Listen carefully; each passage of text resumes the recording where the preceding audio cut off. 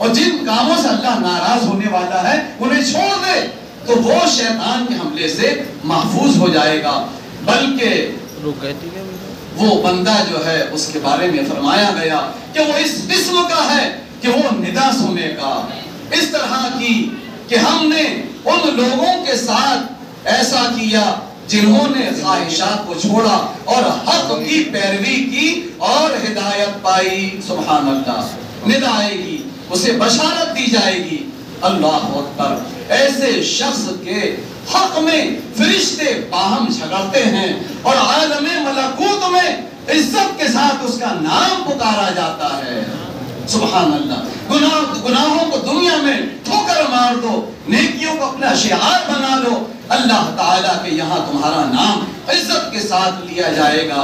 अल्लाह अकबर। ऐसे बंदे पर अल्लाह ताला फख्र फरमाते हुए, इरशाद फरमाता है, यानी ऐसा इसलिए है कि हम उस बंदे से बुराई और बेहयाई को दूर फरमा दें। वो बंदा हमारे चुने हुए बंदों में से है। सुबहान अल्लाह इसकी वजह सिर्फ़ ये है कि वो बंदा ज़ाहिर बातिन में खुदा से डरा। ज़ाहिर में भी डरा और जब तन्हाई में था, जब लोग नहीं देख रहे थे, तब भी अल्लाह से डरा, गुनाहों से बचा, नेकियों में मसरूफ ही रहा, शैतान मरदूद से भागा और उसकी पुकार शैतान के बुलाने से बचा तो ये डर अल्लाह ताला की तरफ़ से उसे नसीब हुआ। अल्लाह करीम ने बंदों को पहले ही तंबी फरमा दी कि बेशक शैतान तुम्हारा दुश्मन है। बेशक शैतान तुम्हारा दुश्मन है तुम भी उससे दुश्मनी रखो। अब जो आदमी दोस्ती कर लेगा, उसके चुगल में आ जाएगा।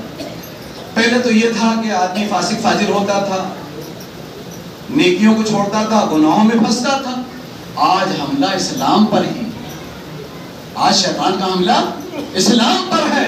और इमाम गजाली ने होशियार फरमा दिया था पहले ही कि इंसान जब तक ज़िंदा रहता है, उसके दिल तक पहुँचने के लिए शैतान के पास बहुत सारे रास्ते खुले रहते हैं।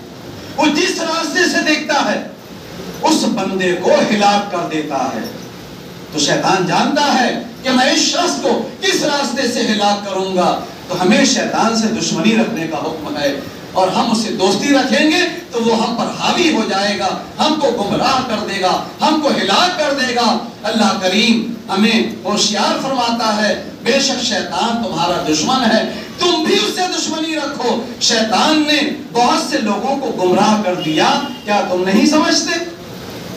वो लोग तुम्हारे लिए इबरत हैं, जो जिन्हें उसने गुमराह कर दिया है, उनको देख के तुम अपने आप को महफूज करो। सरकार से बात फरमाते हैं, गरज शैतान की पैरवी, हर बदबख्ती और मुसीबत की असल है। सारी बदबख्ती और गुनाहों की जड़ शैतान की पैरवी है और शैतान की मुखालिफत में खुश नसीबी आराम, राहत, हिदायत और जन्नत के मिलने की बशारत है।